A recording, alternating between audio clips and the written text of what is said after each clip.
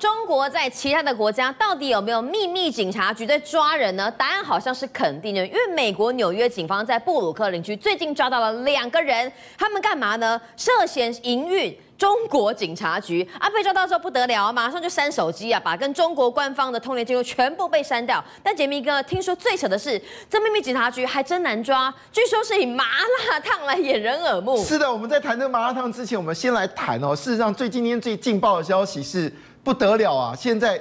中国人开始移民美国了，而且移民吗？还是绕跑？哎，那个移民，当然这个移民很特别，当然是绕跑啊！因为中国去年就没有工作机会了嘛，所以很多人就觉得中国没希望了，所以他们就惜家带子哦，准备要闯关这个美国，他们是没有入境许可的哦。嗯。但问题他们怎么进去呢？可以吗？那现在你没办法在美国跳机嘛？你看你现在看到画面，这一群人全都是已经进入到美国境内了，他们在登记他们的这个资料。你看哦，这个人龙非。非常漫长哦，非常漫长，一直到底哦。那在这个最后的结束是什么呢？就看到了这个美国的边境警察正在算这个人头。那这个过程当中，就是要去偷渡到美国的人哦。这已经偷渡了，而且你现在在做登记。你看他们的打扮看起来像不像是这个游客啊？游客确实，他们必须是这样的装扮，因为他们曾经历过一个匪夷所思的丛林之旅。好，我现在解释一下，其实这个称之为走线哦。什么走线呢？简单一句话，就是要偷渡到美国嘛，哈。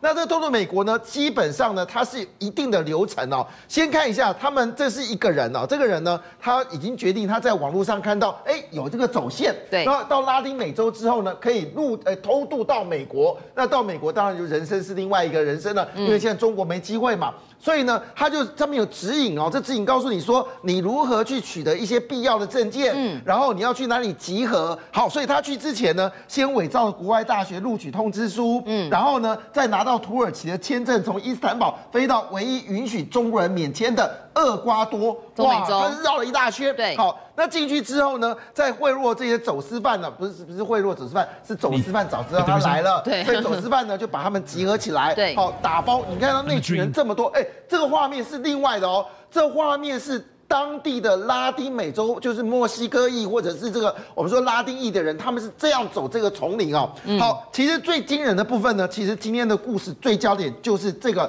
达连隧道 （Darien Gap）。那这个漫长的这个里面呢，漫路线里面大概要走差不多。说走私客都要经过这个地方，对对，这大概对，没错，这里面是充满了沼泽、溪流，还有森林。这你给感觉它像什么？像那走快乐的步伐吗？错了，其实它是原始森林。嗯，有些地方你是完全见不到光的，而且还有毒蛇，咬到就阵亡了。所以，所以是画面上是这些走私客，不只是中南美洲的人，可能中国人也在这里面，要一起通过这个。达连的隧道，没错，这个我们说这其实达林隧道叫 gap，基本上它就是一个森林的路哈。嗯，那在这过程当中，其实你不要小看这些事情，他们从集结开始就要付钱了。嗯，每个人大概付的金额不少，大概有一点一点四万美金哦。所以集结过程每个据点休息都要付钱，然后这一群人是集体的就冲过了九十六公里长的达林隧道。嗯，那。这些过程当中有什么东西？我刚刚解释过了，有包括你知道有蚊子啊，然后甚至有些地方臭不可当，而且当时你看到水，那水是不能喝的。好，那这个过程当中都有走私贩子帮他们处理这些小这些大小事嘛。哦，好，西家带眷，终于可以进到这个美国领域了。那我们讲到哈。反习近平政权的中国人在海外相当的多，但是有人就对这些中国人出手，那就是所谓的秘密警察局。过去指纹楼梯响，但没有办法确定，可这一回被美国抓到了。哦，这踢到铁板哦，这是发生在这个曼哈顿纽约的部分哦。那呃，受害者呢，就是被压迫的人呢，其实已经是入籍美国的中国人。然后呢，他已经算是美国人对，他是美国人。那因为他的家庭哦，这个背景都家人还在这个中国嘛，他对中国发表了一些看法。就没想到呢，有两个人跑去骚扰他，一个人叫做陆建旺，一个叫陈景平。嗯，好，他就开始呢，就开始去骚扰他。那你知道这个在美国待久的人都知道，就是法律很重要，他就警察局一告，那警察呢，正好最近这个台呃中美关系不好嘛，他们就去冲进了一个唐人街附近营运的一个秘密警察局。嗯嗯，这秘密警察下面是什么？是一个麻辣烫。一个六层楼的房子里面有，哎，对对对，长叫长乐工会。那这是长乐这个是由这个一群福建人哦，在二零一六年的时候，他们花了大概一百二十三一百三十万这个美金哦，把它租下来的哦。好，那这部分呢，一百三十万美金把它租下整个大楼，就搞了半天。你外面开这是美国长乐工会吗？对其实里面叫什么秘密警察局啊。哦，里面藏的是啊，有什么中医呀、麦当面麻辣烫，就是警察局。其实里面的人都是都是警察局。后来你知道吗？前阵子也是类似这样的一个被查完之后呢，他们就开了小小火锅店，嗯就你知道吗？帮你端茶倒水都是中国特务，多可怕的事嗯情！好了，那整个过程当中，这被端出来的时候才知道，原来在美国里面，这已经成为一个既有的事实。我们据了解，嗯现在在中国，在这个全世界秘密警察至少有一千处哦。那这到底是怎么回事呢？其实它背后，而且重点事情是，他们被逮掉的时候做了一件事情，他们就赶快把这个通讯软体哦，对跟某一个特定的中国高官的这这个内容呢，把它删掉了，删删掉那他们美国认为哦，这个高官是谁呢？应该是中国的中纪委里面的官员。你来看这画面多惊人！其实基本上他透过一千多个点。中国在这里哦，但全世界这么大哦，所以等于他的手是伸到全世界每个地方。而且你不知道他是用什么样的身份来掩盖警秘密警察局，是是可能是麻辣烫，或者刚刚杰明哥讲的小火锅店都有可的不知道里。面都是好。那那他好奇他怎么猎捕？其实猎捕很成功哦。像中国前一百大的这个所谓的经济犯罪人士，到现在已经抓回六十几个人了。那有些是自愿回来的，对有些是被人家骚扰的，有些直接就是把你绑架的。好，这三个手法，我们先来看一个案例哦。这个案例呢，这个人呢叫做王呃靖宇哈，这个人啊，对对这个人好，他呢，他为什么后来决定要回去呢？是因为啊，他们重庆市呢就发了一个文件给他，他就跟你说，你现在手机已经关了，我没有办法给你通讯，对所以呢，我就发一封信给你看。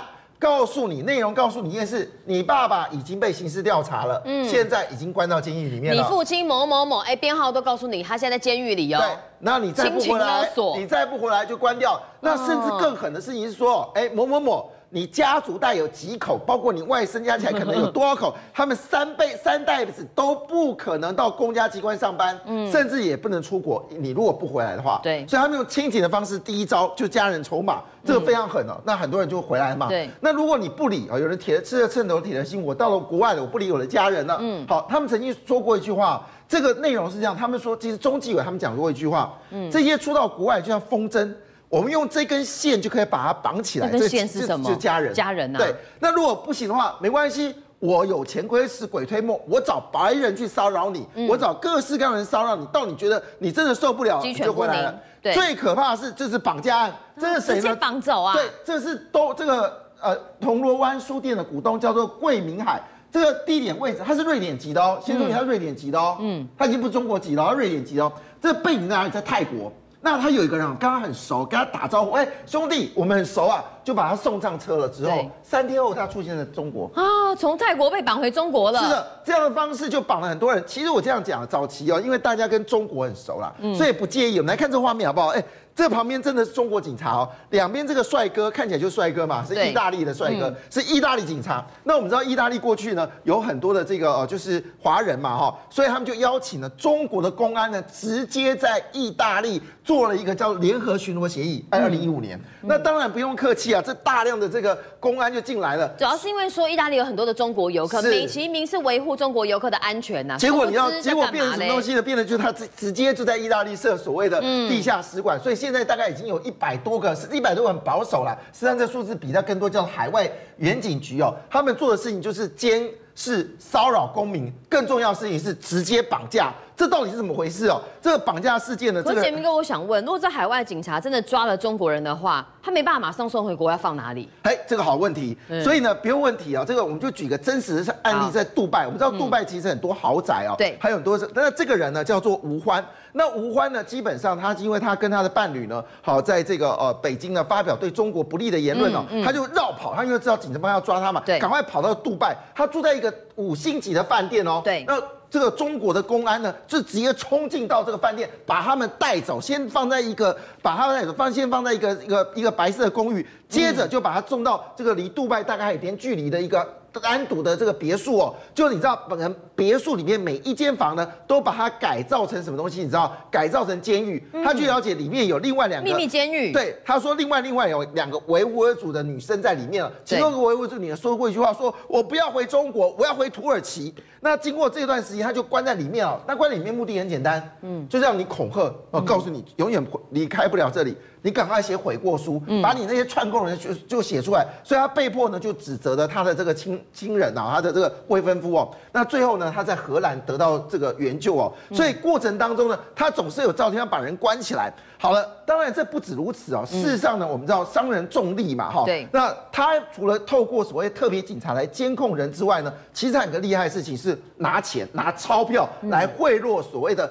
重要的商人。好，这个人叫做切尔哥哦。那切尔哥呢，其实坦白讲，他是一个非常资深的澳洲的一位行销主管。他曾经啊在中国工作了一段很大的时间，他被逮捕了。为什么逮捕呢？因为呢，他提供了中国有关澳洲的锂矿的开采，甚至呢，他因为他人脉很广，他也接触到澳洲的一些执政党的这些官员，他们提供了提供了就是 AUKUS，就是澳洲联盟，英澳洲英国跟美国的核子联盟，原不是澳洲要做那个核子潜艇吗？对，那么这个 AUKUS 目的就是要做这个核子潜艇，那这件事情对中国来说非常不安。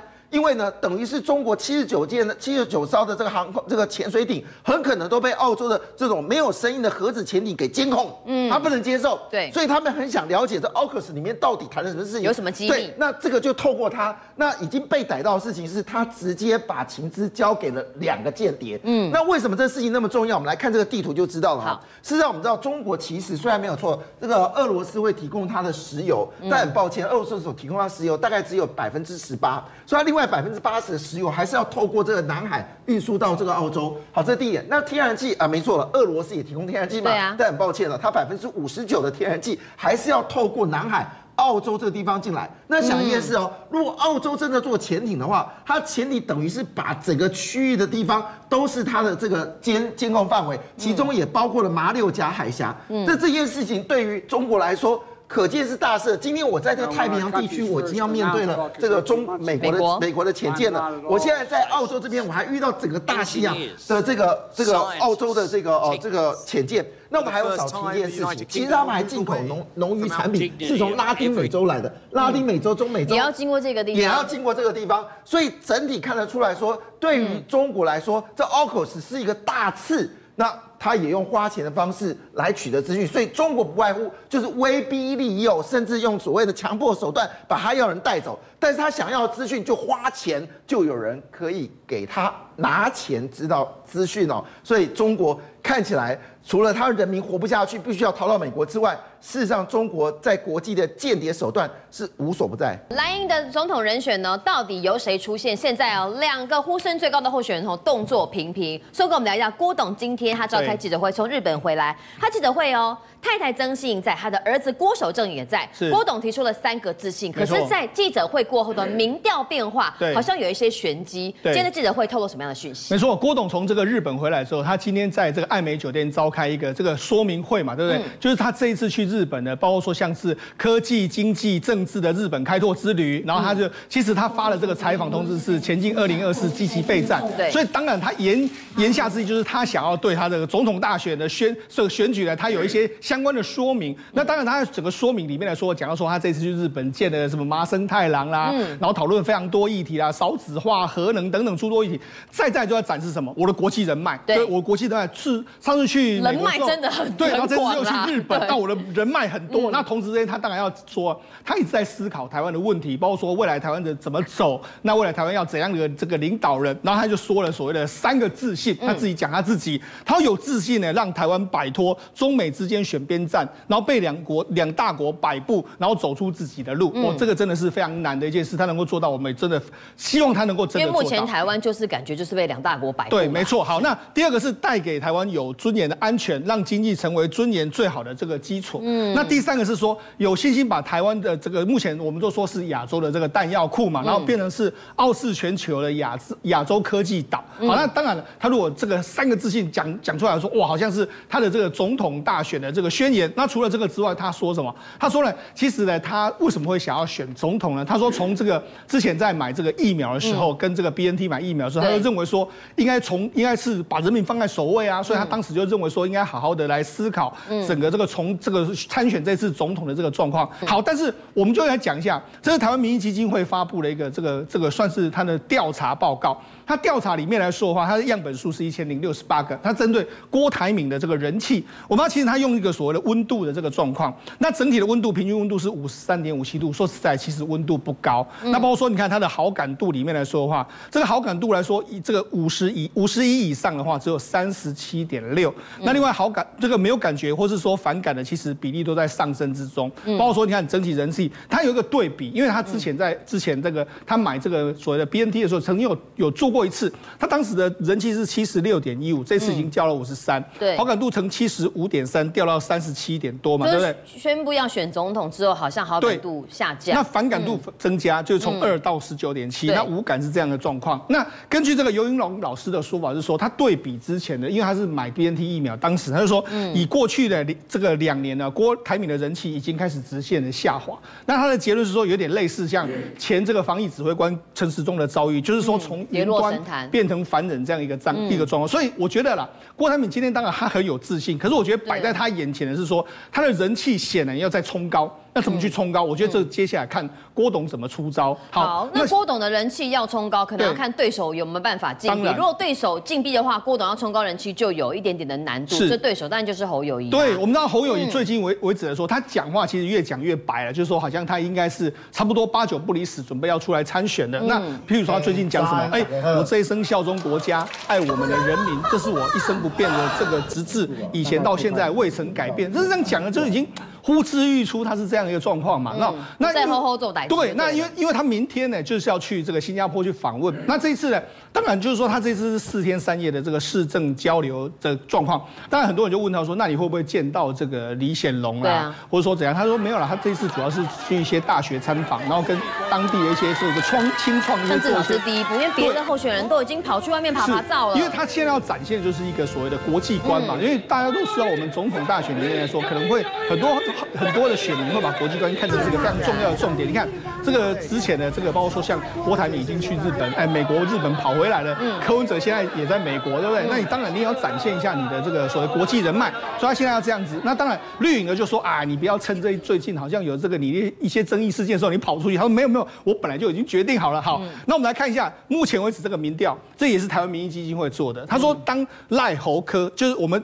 对比两个，一个是这个民进党的话是赖清德是确定的，那这个这个民众党是柯文哲，那国民党因为现在有两个人，一个是侯友谊，一个是这个郭台铭，我们对比是郭董跟侯友谊，我们来对比他们的三三咖对决的时候，你可以看赖清德对决侯友谊的时候，其实你我们对就看前两名，你可以看前两名的差距呢，约莫是在四个 percent 左右，但你可以看到郭台铭跟赖清德说，哎，他们就有点拉开，好像到九个 percent，那因为不只是拉开，你柯文哲在对上这个郭郭台铭还有赖清德的时候，他显然会比较高，他会分走。郭董票，所以也就是说，其实看起来的话，如果就这个台湾民意基金会里面来讲的话，它似乎是对郭董是稍微比较不利。那另外我们再看一个所谓趋势图，你看趋势图来说的话，其实赖清德之前的冲到三十六点二之后呢，好像就有点冲不再上去。那因为当然这最跟最近的国民进党里面有一些所谓的地方的这个立委选举，有一些纷纷扰扰造成影响，它往下降。但是你看到，哎，很有意思哦，就是这个侯友谊开始在往上升，所以我觉得这个会不会是一个未来有可能会从鼓励反弹，甚至会不会有？可能出现一个黄金交叉，那我们就看接下来的民调的这个状况。好，民调状况对于林来说，可能要考验的还有他内部哈各个部长。解决事情应变的能力。我们讲到缺电好了。昨天有个新闻引起网友的炸锅跟讨论，说啊，我们在以前说这个去大卖场啊，温度不能超过二十六度。但现在新的政策哦，是说去餐厅吃饭用餐时间哦，呃，业者的冷气不能开得太低，要寄出限温令，否则会被开罚。而且这罚金哦，比你违规交通还要来得贵。这是有点好像是急转弯啦。这个事情好像已经不见了。哦，没有这件事情了。对，那我们现在讲，了。这是自由他看出来的嘛？对，他说餐厅饭店。电的新限温令，我们知道是二十六度，那自己那现在是二十二到二十四度。那这其实是能源能源局说的哦，他是说首都要在首波要在连锁餐饮、观光饭店等一千三百个据点试办到明年底嘛，那最快后年正式拉管。那冷气温度要控制在二十三度，那当然可以上下一度左右的这个浮动。但是如果违反的话，他说复查没有改善，会开罚两万到十万以下，以两万以上到十万以下的这个罚款，而且可以连续罚哦，还可以来加倍罚。那这个出来，当然大家炸锅嘛，说 那你干嘛要有这个？那当然国民党马上又说，你看，你看这是什么？假借所谓限温令，那其实就是因为你缺电嘛，哦就不要你开的太低，浪费电。所以他就说直接打脸，说蔡蔡英文总统说没有不会缺电，那王美花说不缺电，那等于是打脸。那就王美花说，啊没有啦，这个跟这个没有关系啦，只是说了，因为呢，你去吹吃饭的时候，有时候太冷的时候，哎你会不舒服嘛，而且又浪费电嘛，会对不对？之前是这样讲，对但是显然被炮轰到不行。他说啊，没有没有没有，我们现在采购资源参加，不是这个限温令，那也没有法则的规定，所以也就是说一天的这个政策试出来之后，被人家骂爆之后，就赶快转过来。可是怎么一开始会有这样的想法？哪里学来的？对啊，当然就有媒体人去找出说，哎，这个这个法令好好像很很眼熟。这其实是什么？这是中国的他们的这个对岸的时候，《公共建筑室内温度控制管理办法》里面来说话，他说室内温度不低于这个二十六度，然后冬季夏天的时候哎夏天不低低二十六度，那冬季温度呢不得高于二十度所以他就说，哎，是什么绿共一家亲？那当然了，我觉得啦，你要用这样的去哭哭手也可以，但是某些程度来说的话，限温令的确代表了说政府可能对于电它有一点点疑虑的这个情形。好，感谢世聪哥哦。到底哈，现在夏天接近了，温度越来越高，我们冷气哈，哎，你这个调降温度的手还不能按得太快哈，一旦哈温度没有达标的话，可能会被罚钱。可是文琪哥，为什么昨天这个自由时报比较青绿的媒体爆出来之后，今天王美花的态度马上法家弯？因为他现在犯的一个最大的错，我觉得啦，就是呃。说谎的最高的境界就是已经不知道自己在说谎。我为什么会这样讲呢？如果我们刚才已经世聪哥有提到了嘛，哈，原本我们说如果交通法案要罚了所谓的三万六，可是没想到他昨天呃就是今天一如开始我们果你不小心开车撞，到路人，要罚三万六。对。可是我们现在看到原本的所谓的罚则是到十万块，坦白讲，这明显的就是违反了所谓的比例原则，你就如果会知道。冷气开太低，要被罚十万。对，所以我才会讲嘛，你很难想象说一个政府公告给他西郎，这个邱西郎的一个状况，所以我们会现在发现，他也许心中原本最软的那一块不是劳工，其实他要欺负的就是我们中华民国的这些善良的老百姓你缺电不跟企业主不。解决，然后去惩罚用电的人。没有，因为事实上一个最大的问题就是嗯他真的欠电嘛。那我们现在看到的说，如果我跟明君报告两件事啊，其实两个案例，各位记不记得我们那时候过年的时候，记不记得他提醒我们要拔插头这件事情，你还记不记得？而且现在台北市所有的新的建案，我跟大家报告，他们都必须跟台电签署一个所谓的优先愿意被限电的。我跟大家报告，如果是这样的话，就代表有鬼，因为我们讲。凡违背正常，就必有猫腻，必有鬼。而且我觉得一个最重要的一件，刚才我们看到的，他们比照了所谓他们最号，就是说自己号称说对岸是敌人，就用的是对岸的一个方法。我们看到可能啦，可能啦，对啊，对，因为我要我请教明君一件事，请问我们台湾是不是个民主法治的国家？嗯如果是的话，我们不是应该尊重所谓的市场机制法则？再来，使用者付费。我我讲白了，当然不是说有钱就是任性啊，但是老百姓要用多少电，企业主要用多少电，关你舒不舒服？坦白讲，当王美花说不舒服，真真正最不舒服的是我们，因为是欠电，而且我跟你讲，跟大家报告。真的，如果对业者要省电的话，他自己就哦，我几台料穷贼，然后我自己就会省电。所以王美花这件事情基本上是脱裤子放屁。因此我要讲，如果套用我们看到了一部电影叫《全民公敌》，不是他如果不是笨蛋就是天才，但是我们看到现在王美花做的基本上。大概是笨蛋是无误啊，因为他现在所所作所为，基本上你就看看到他学的是绿共一家亲。不过我要跟明君讲，坦白讲，如果蔡英文总统都说二零二四不是他的事，我们的阿花部长说了这件事情，法家湾又怎么样？其实这也不是第一次的法家湾，因此我觉得缺电的这件事情可以证明，再次证明，民进党全部一直都是在用骗的。政界、商界、演艺界跨界揭秘，重案、悬案、攻击案、拍案惊奇，新闻内幕、独特观点。厘清事实，破解谜团。我是陈明君，我是李佳明，敬请锁定五七新闻网，真相不漏网。